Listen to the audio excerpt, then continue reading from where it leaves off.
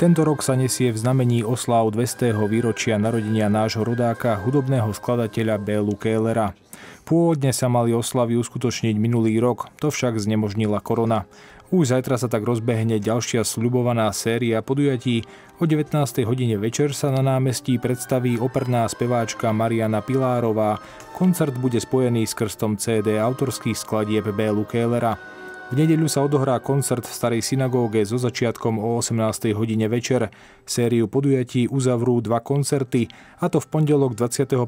júna v Astórii v Bardovských kúpeľoch o 19. hodine a 30. minúte a v piatok 25. júna o 18.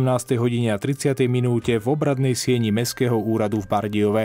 Dúfajme, že bude pekné počasie a naozaj chceme Bardiovčanom po dlhej dobe ponúknuť e, taký exkluzívny hudobný a umelecký zážitok zážitok.